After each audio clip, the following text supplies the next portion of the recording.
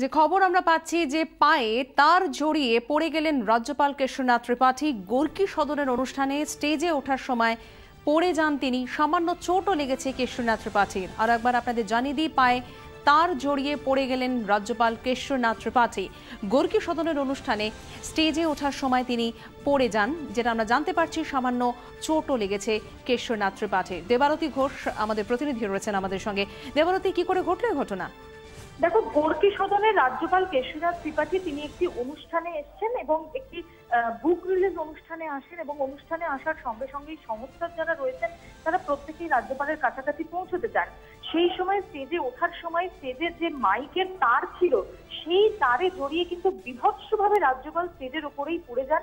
একেবারে যেটাকে আমরা বাংলা ভাষায় বলে থাকি, মুখ থুপড়ে পড়া সেই রকম ভাবে পড়ে যান এবং ইতিমধ্যেই কিন্তু তার হাঁটুতে বাঁ দিকের ডান দিকের চোখের ওপরে কপালে এবং একই সঙ্গে তার হাতে আঘাত পেয়েছেন তিনি, তাকে এই মুহূর্তে ফার্স্ট এড করানোর জন্য পাশেই যে গ্রিন রুম রয়েছে, সেই গ্রিন রুমে নিয়ে যাওয়া হয়েছে এবং এই মুহূর্তে কিন্তু তার কেটেও গেছে বলে জানা যাচ্ছে।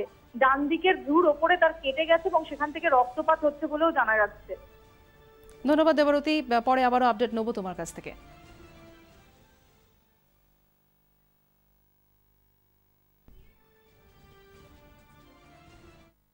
পরিকাঠামোয় মূলধনী খরচ বাড়াক রাজ্যগুলি। নীতি আয়োগের বৈঠকে পরামর্শ দিলেন প্রধানমন্ত্রী। ক্ষমতায় এসে যোজনা কমিশন তুলে দিয়ে নীতি আয়োগ গঠন করেছে মোদী সরকার। আজ ছিল গভর্নর কাউন্সিলের তৃতীয় বৈঠক। প্রধানমন্ত্রী বলেন, যুগের চাহিদা মেনে স্বল্প মেয়াদী মধ্যমেয়াদী এবং দীর্ঘমেয়াদী পরিকল্পনা করা জরুরি। সব রাজ্য এবং কেন্দ্রের ঐক্যবদ্ধ যোগদানই অর্থনীতি এগোতে পারে, বলেছেন প্রধানমন্ত্রী। অর্থনীতিকে চাঙ্কা করতে দুর্বল পরিকাঠামোর সংস্কারের উপর জোর দিয়েছেন নরেন্দ্র মোদী। জিএসটি দেশকে নতুন আর্থিক দিশা দেখাবে বলেও তাঁর দাবি।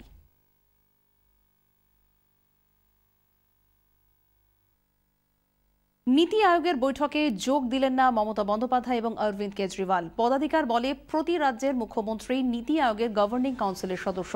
দিনভর আজ দিল্লিতে ঘুরতে দেখা গেলেও রাষ্ট্রপতি ভবনে গিয়ে বৈঠকে যোগ দেননি দিল্লির মুখ্যমন্ত্রী।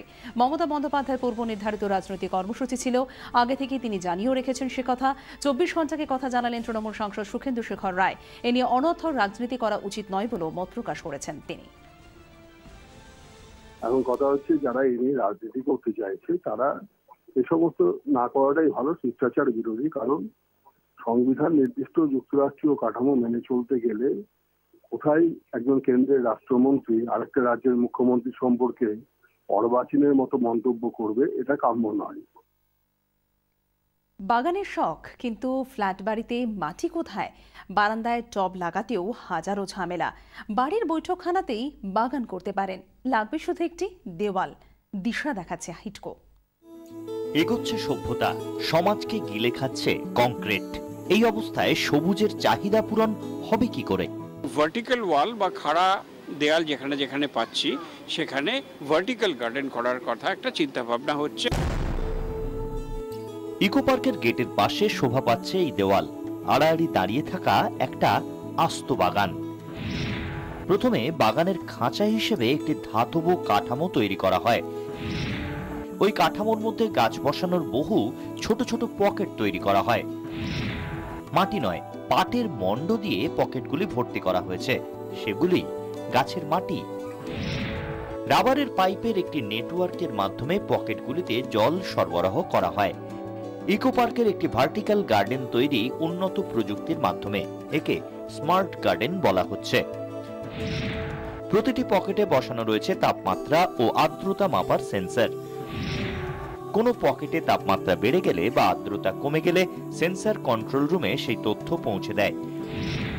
মোবাইল অ্যাপসের মাধ্যমে তখন পাম্প চালু করে সংশ্লিষ্ট পকেটে নির্দিষ্ট পরিমাণ জল সরবরাহ করা হয়। ঘরের ভেতরেও কিন্তু করা যায়। আপনার বৈঠকখানার যদি একটা ভার্টিক্যাল দেয়াল থাকে এরা করে দিতে পারে। ইকো পার্কের এই ভার্টিক্যাল গার্ডেন ইতিমধ্যেই পর্যটকদের নজর কেড়েছে। ভীষণই সুন্দর লেগেছে সাধারণত এগুলো দেখা যায় না। এই বাগানের সবচেয়ে বড় সুবিধা নিয়মিত নজরদারি করতে হয় না। অটোমেটিক ব্যবস্থাটি কার্যকর করে অনায়াসে আপনি দেশ দেশান্তরে ঘুরতে পারবেন। প্রযুক্তি বাগানের দেখভাল করবে।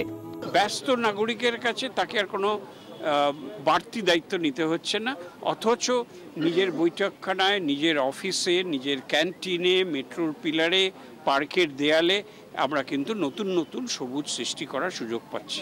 স্বাদ থাকলেও সাধ্য কোথায়? চতুর্দিকে তো কংক্রিটে ভরা। ইকো পার্কে তাই এখন সবার চোখ টানছে এই ভার্টিক্যাল গার্ডেন। চব্বিশ ঘণ্টার জন্য ক্যামেরায় বাপন সাহুর সঙ্গে কমলাক্ষ ভট্টাচার্য, কলকাতা।